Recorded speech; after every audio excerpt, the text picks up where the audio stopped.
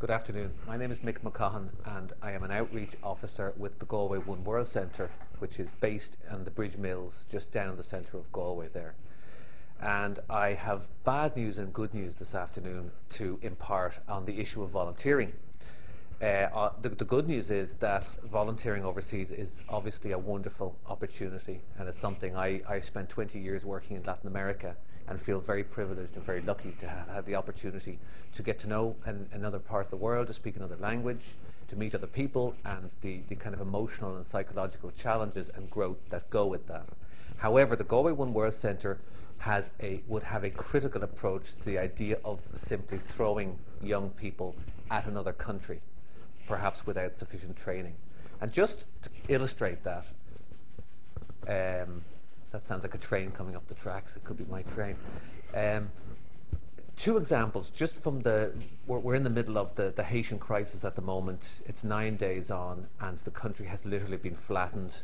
An already weak government and infrastructure has been obliterated. So that's the scenario Haiti faces. The first two, interestingly, signs of life uh, in the immediate aftermath of the earthquake came from an Irish volunteer and the Cuban embassy in Port-au-Prince. In the case of the Irish volunteer, Louise Ivers, she works with a group called Partners in Health. She's a highly trained Harvard medical person who immediately got to work on hundreds of people outside the building she was in at the time in terms of making immediate uh, uh, health related uh, uh, aid and uh, she works, the organization she works with has 400 people in Haiti, of which 98% are Haitians. And that, in terms of balance, seems like the least an organization needs to ensure sustainability and that local people are being trained rather than simply people who come from privileged, se- privileged centres of the world, uh, such as Dublin, London, New York, wherever. Across the city at the Cuban embassy, as soon as the earthquake happened, uh, medical embassy staff came outside and set up an improvised field hospital. This sounds absolutely remarkable when you think that most trained diplomats have not probably taken on the career of a doctor as well. However, uh, the Cubans, uh, uh, the Cubans developed uh, an idea around volunteering abroad, which went by what sounds like a very outdated principle now called international proletarianism. And, and while that sounds like a remnant of, of the Soviet era, it was thought about by Che Guevara, who uh, was, was an important factor in, in the Cuban Revolution and also a doctor.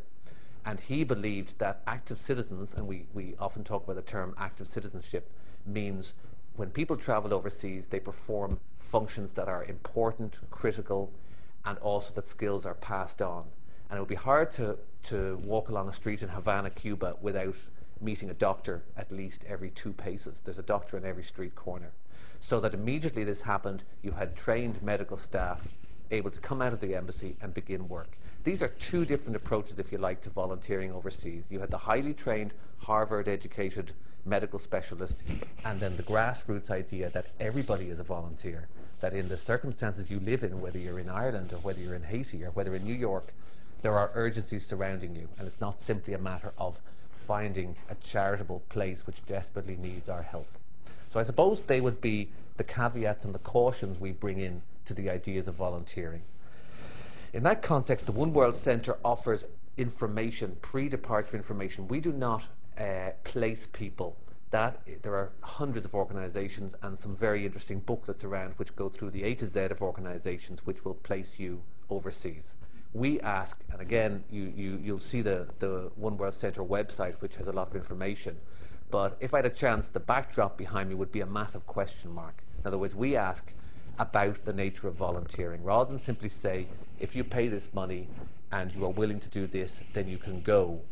We would actually stop and say, hang on a second, let's think, let, let's think a bit deeper about the nature of volunteering, the nature of power involved in, in the idea of people who are uh, usually white, usually privileged, uh, traveling to other countries, uh, which for many reasons are on their knees. And we know with Haiti as an example, for example, that the French and the US, two of the key countries in delivering emergency and much needed aid, uh, were responsible for the looting and destruction of the country, the systematic uh, uh, extraction of Haiti's assets whether it was sugar, spices, or wood. And uh, to the point where the French extracted reparations because of an uprising by Haitian slaves, which lasted into the 1950s. Uh, this sounds like a long way around uh, explaining what the Galway One World Centre does, but I think it, it's an opportunity, unlike some of the other organisations which obviously want to get across uh, the immediate steps to going. We are the steps before you go. And we offer a number of different courses. For example, at the moment, we have a course called Education for Liberation, otherwise known as night classes with attitude. And what that is, is an attempt to stimulate and share ideas about all the things I've been talking about the nature of power, the nature of our place in the world, uh, racism awareness, the fact that when we walk, step out of our zone, uh, and our kind of comfort zone, if you like. The, you know, we grow up in Ireland, which is a certain, we have a certain way of looking at things. Our peers, our education, the religious traditions we come from, all inform us and give us a certain character. And that immediately meets another character overseas.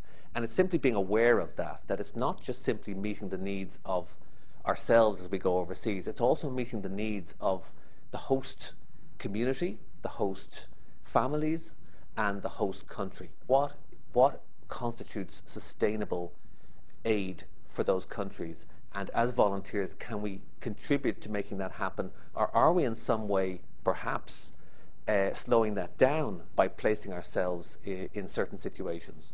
It's a question, and it's a question that needs to be teased out in discussion. And at the Galway One World Centre, that's really what we're there for. We really want to see that happen. And we have a number of staff. Uh, we're available. You could certainly drop in between the hours of 10 and 3 and hopefully find someone there between Tuesday and Friday. Um, or give us a call 091 530 590. It's also on the website. And uh, arrange to meet one of us. We organise workshops for volunteers uh, who are travelling overseas, so that when you when you come and meet us, you're not going to be simply met with a lecture and made to feel bad about the fact that you're going overseas. We're simply going to raise the issues and perhaps challenge each other to to look at our different perspectives, the way we see the world, the way we see other countries, and uh, learn a bit more. So everyone is welcome to sh- have their own bit of the One World Centre. Thank you.